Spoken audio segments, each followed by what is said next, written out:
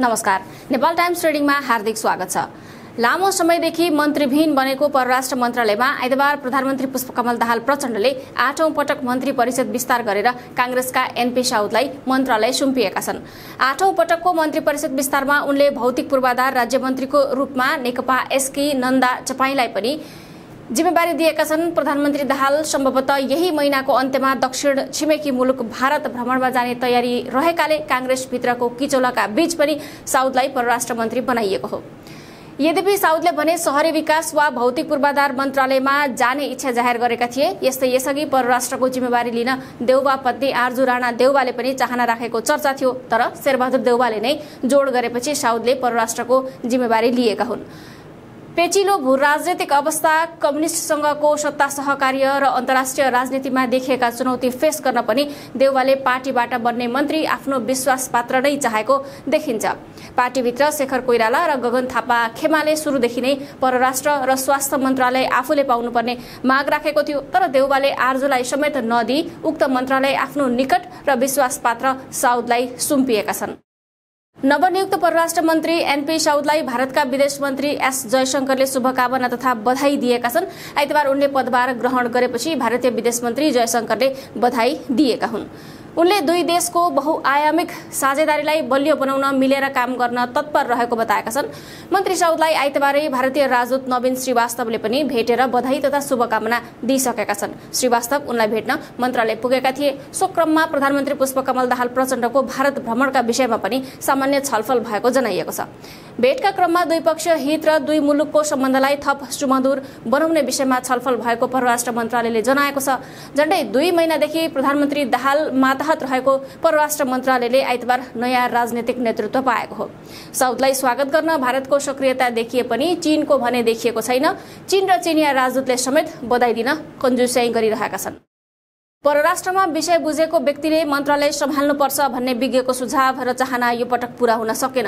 विदेश सम्बन्धलाई बलियो बनाउने जिम्मा पाएका साउदका लागि परराष्ट्र मामिला नयाँ क्षेत्र हो। यसअघि सिंचाई मन्त्री तथा शिक्षा तथा खेलकुद राज्य मन्त्रीको जिम्मेवारी सम्हालिसकेका उनी अब नितान्त फरक भूमिका निर्वाह गर्नुपर्ने जिम्मेवारीमा छन्। अहिलेको समयमा परराष्ट्र मन्त्रालय सबैभन्दा चुनौतीपूर्ण अवस्थामा रहेको छ। बहुध्रुवमा विभाजित हुँदै गरेको विश्व राजनीतिसँग समन्वय गर्नुपर्ने र शक्ति सम्पन्न छिमेकीसँगको सम्बन्ध व्यवस्थापन गर्नुपर्ने महत्वपूर्ण जिम्मेवारी बोकेको परराष्ट्र मन्त्रालय आफैमा भने अस्तव्यस्त अवस्थामा छ।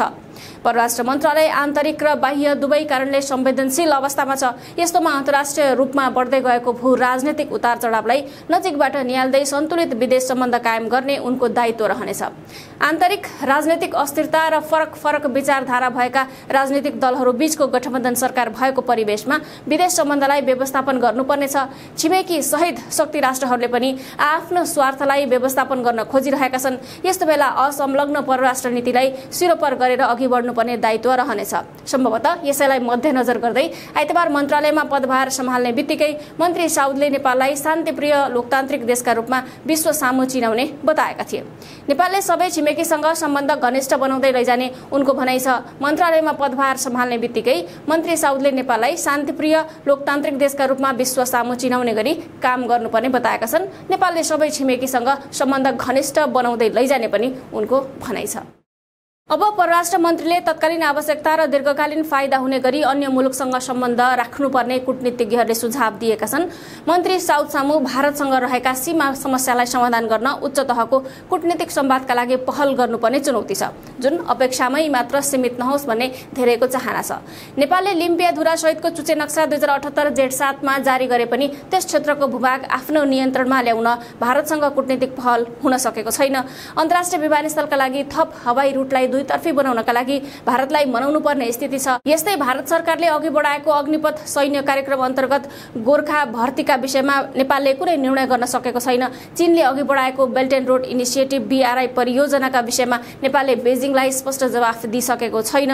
चीनले बिआरआई परियोजना कार्यान्वयनका विषयमा आग्रह गर्दै आएको छ। नेपालले बिआरआई परियोजनाका लागि अनुदान र सहुलियत ऋण मात्र लिने भन्दै आएको छ। सरकारी तहमा भने यस विषयमा खास छलफल भएको छैन। यस्तै चीनले अघि सारेको ग्लोबल सेक्युरिटी इनिसिएटिभ जिएसआई र ग्लोबल सिभिलाइजेसन इनिसिएटिभ जिसिआई बारे नेपालको धारणा स्पष्ट बनाउनु पर्ने चुनौती मन्त्री साउदलाई रहेको छ। अमेरिकी अनुदानमा ऊर्जा र सडक पूर्वाधार सम्बन्धी एमसिसी परियोजना नेपालमा कार्यान्वयन भइरहेको छ तर नेपाल स्टेट पार्टनरसिप कार्यक्रम एसपिपीबाट नेपाल पछाडि हटिसकेपछि र सिआइए प्रमुख विल वन्सको भ्रमणलाई स्वीकृत नदिएकाले अमेरिका बिचकिएको छ। यो अवस्थामा मन्त्री साउदलाई अमेरिकासँग विश्वासको वातावरण बनाउने चुनौती पनि छ। मुलुकको आर्थिक सूचकाङ्क सकारात्मक नरहेका बेला आर्थिक कूटनीतिको महत्वपूर्ण भूमिका रहन्छ।